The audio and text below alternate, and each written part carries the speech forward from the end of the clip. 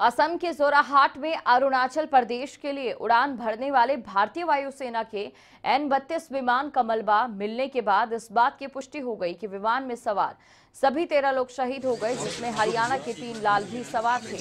इन शहीदों में फरीदाबाद के रहने वाले फ़्लाइट लेफ्टिनेंट राजेश थापा पलवल के आशीष तंवर और गोहाना के पायलट पंकज सांगवान भी शामिल थे। तीनों के पार्थिव शरीर उनके पैतृक गाँव पहुँचे, जिनका अंतिम संस्कार किया गया। पूरे राजकीय सम्मान के साथ अमर रहे